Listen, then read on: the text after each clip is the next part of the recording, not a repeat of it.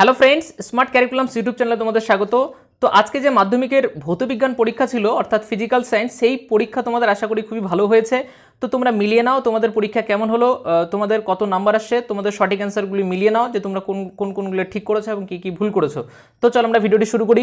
দেখো, এইটা হচ্ছে মাধ্যমিকের প্রশ্নপত্র ফিজিক্যাল সায়েন্স দু হাজার ঠিক আছে?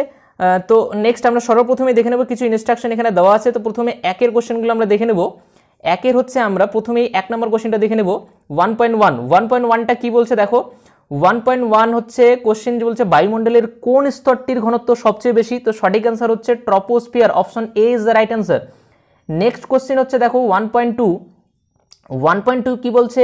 ওয়ান পয়েন্ট টু কী বলছে যে, গ্যাস সংক্রান্ত বয়েলের সূত্র, সূত্রের লেখচিত্রটি হলো, তো আমরা কি জানি? উষ্ণতা হচ্ছে ফিক্সড তো এখানে পি প্রপোজনাল মানে P proportional one by V বা P P equal to one by V হয়, তাই তো?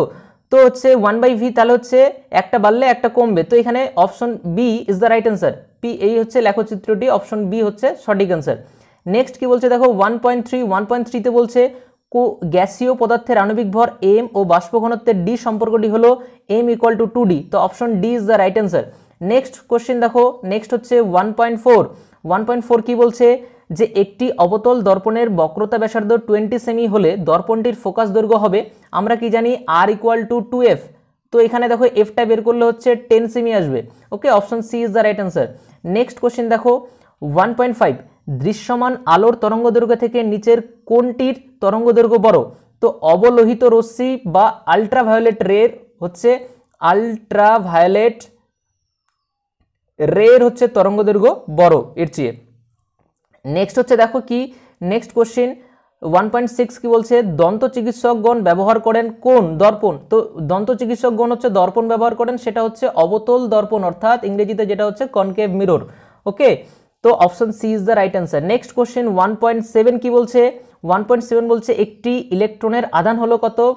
তো option minus one point six into ten to the minus nineteen coulomb, তো option B is the right answer ঠিক আছে? তো নেক্সট হচ্ছে ওয়ান পয়েন্ট এইট কী বলছে?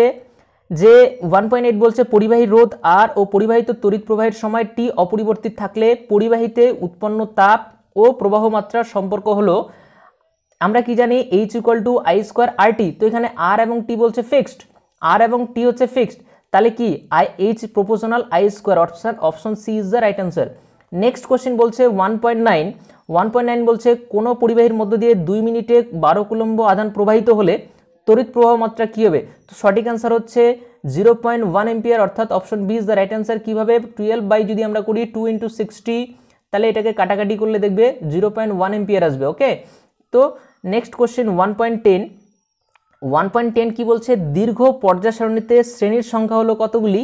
তো দীর্ঘ পর্যায় সারণীতে শ্রেণির সংখ্যা হলো এইটিন আঠারোটি। Option C is the right answer next question দেখো ওয়ান পয়েন্ট ইলেভেন কী বলছে? দীর্ঘ পর্যায় সারণীর শ্রেণি, সতেরো এর অন্তর্গত, ক্লোরিন, আয়োডিন, ফ্লোরিন এবং ব্রোমিন এর জারণ। এইটাকে যদি আমরা ধর্মের, জারণ ধর্মের ক্রম অনুসারে সাজাই, তাহলে option D is the right answer হবে। অর্থাৎ fluorine greater than chlorine greater than bromine greater than iodine হবে।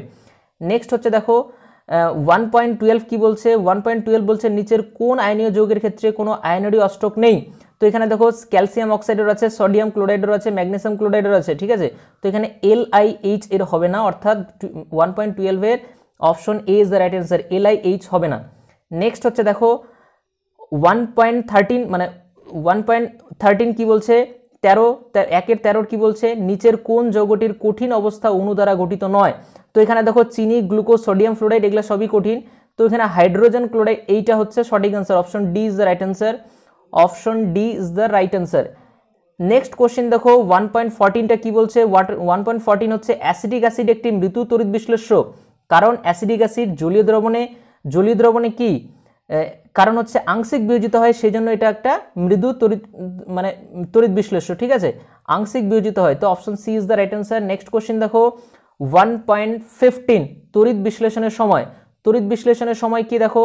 তড়িৎ বিশ্লেষণের সময় কি হয়? ক্যাথোডে বিজারণ ঘটে এবং অ্যানোডে জারণ ঘটে। অর্থাৎ রিডাকশন এবং অক্সিডেশন ঘটে। ক্যাথো রিডাকশন কি ঘটে? ক্যাথোডে।